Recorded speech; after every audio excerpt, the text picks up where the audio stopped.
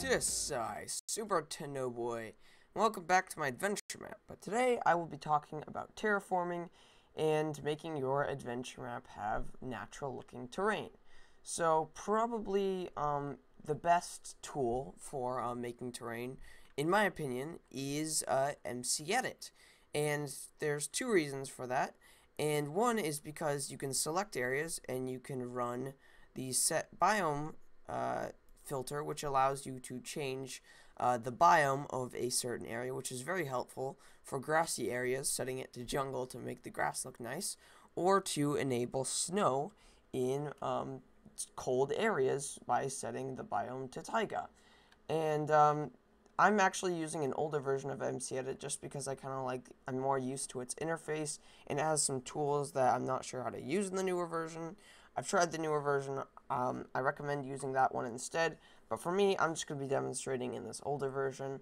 Um, but probably the most useful thing for me when creating terrain using MC Edit is by using the brush tool, which gives us, uh, if you set the brush to round, you're able to get this circular little brush here.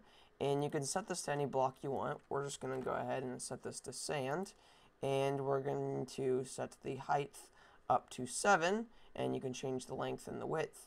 And then if we just drag this across here, we can see that we get ourselves a nice little sand dune, and then we can go ahead and hit save here.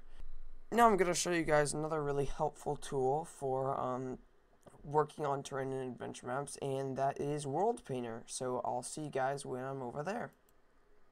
So here we are in World Painter, and I'm just going to go up to File, and I'm going to hit um, open or actually hold on import and then go to Minecraft map. And I should be able to pick up my adventure map hit open and let's just grab the level and open there hit um, OK and then it imports our world here. And that'll just take a bit here and um, but yeah, World Painter, pretty much what it is, is it's made specifically for creating terrain um, in Minecraft, and it creates little smoother things than you could create in MC Edit. But um, it's a little tricky to always import stuff and whatnot in it. So I usually use MC Edit instead because it's a lot quicker.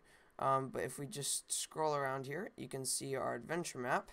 And it's pretty tiny here because uh, actually World Painter is meant for much larger scale things.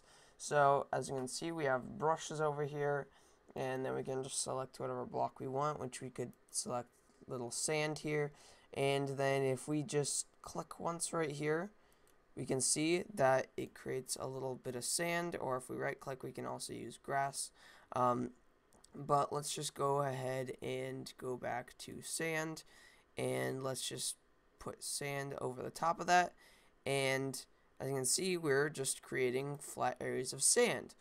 But we can also use this uh, raise mountain tool and as you can see we can create uh, little bumps here and we can go over top of them again to make even bigger ones.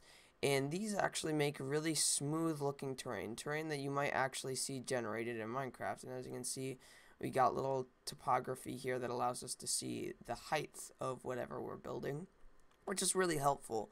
Um, but as I said, if you have redstone or anything underground in your world, World Painter might not be the thing for you because it gets a little messy um, when it comes to uh, working on such a large scale.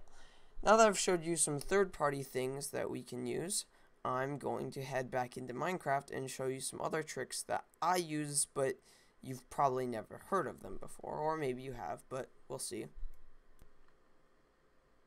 And here we are in Minecraft again. And I'm actually going to just show you two more little tricks that I use in my adventure maps that um, aren't necessarily used by a lot of other map makers. And these are just small tips that you can use if you want. Um, but one is uh, using clone to uh, and spawn eggs to create your own trees or structures that you might want to create multiple times.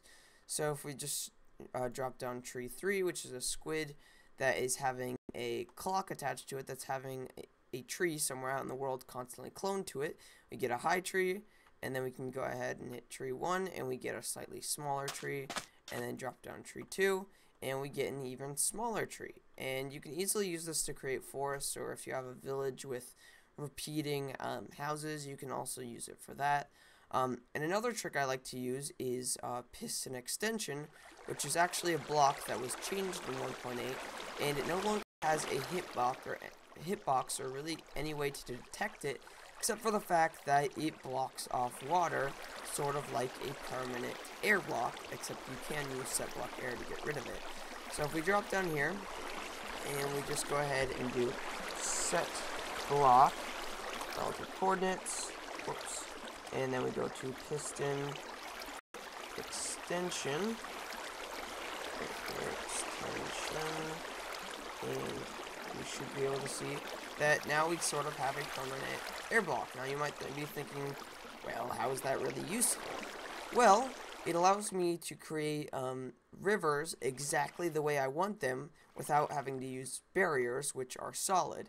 And as you can see, without any hitboxes here, I have created a river that follows the exact path I want to, which can be really helpful, but um, once again, it's rather specific to just using it with water. But another helpful tip that I like to use, um, usually um, in sort of mountainous areas where I need the water to fall in a certain way. But yeah, those are some tips and tricks I have for um, making terrain in adventure maps. If you have any tips or tricks that I did not show in this video, make sure to put them in the comments below so other people can see them and I can see them and we can all benefit from the rest of our knowledge. Um, but that's about it for this video, and thank you for watching.